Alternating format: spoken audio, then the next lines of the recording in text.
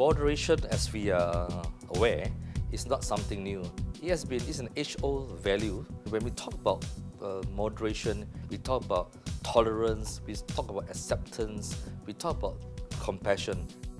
Moderation is, has something to do with the way that people are included or excluded from a conversation because the more voices that we have talking about the issues and the problems that uh, we are currently facing as a society together, the better.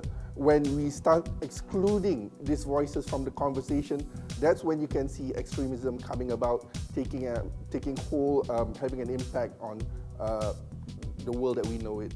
9-11 clearly demonstrated that. There can be very angry people that can have the ability to create a huge amount of disruption and killing to a lot of people.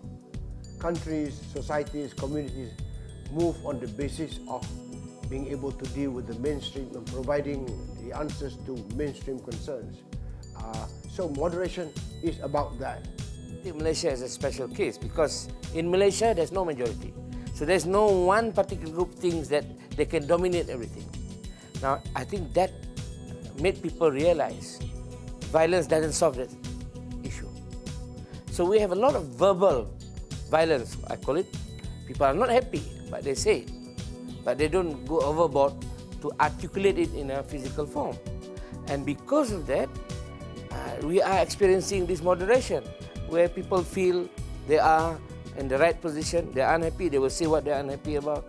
And this ability, I think, uh, uh, that makes Malaysia a good example for moderation. There are disparities, there are inequalities in every society and they exist in quite a considerable fashion in Malaysia. But the, the way to solve these problems, we would say, would be to deal with universal values. Universal values means acceptance that nobody should be marginalized. This has had a, a, a huge resonance uh, from many parties. Many political leaders have come out in support of this.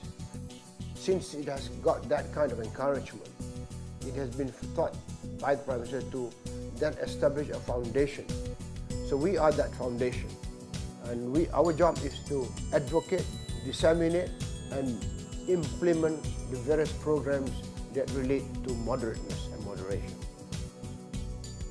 GMM is just a tiny factor in this whole uh, in this whole scenario. Obviously, that um, we try our best through the GMM. If you feel that uh, at the local level, the GMM must pick up and push the voices of moderation, yes, we must do so. And we hope that uh, we are able to play that small but meaningful and hopefully an impactful role of moderation.